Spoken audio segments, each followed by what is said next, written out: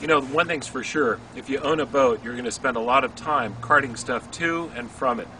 And uh, a really good idea is to have some sort of folding dock cart or dolly that you can use to move this gear around. Well, this is a really nice one.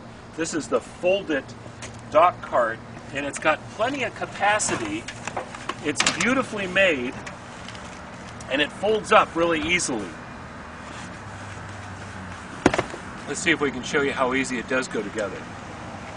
First of all, it holds something like 300 pounds when you're uh, when you're carting stuff around. It has big, big wheels. They're pneumatic wheels. They roll really easily, and then it has a nice grip on it, as well as a nice stable base so that it's not going to tip over easily.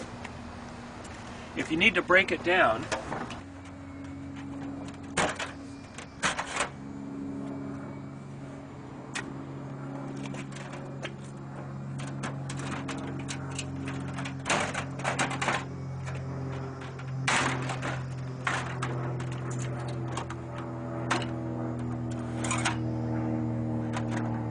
So you can fold it up as small as this, or you can actually pretty easily take the wheels off. It comes with a screwdriver, and uh, these little legs pull off too. They've just got little push buttons on them.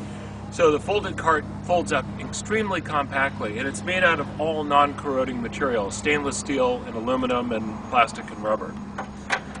If you want a really top quality dock cart that can haul a bunch and yet fold up small for transportation, the Foldit is a great choice.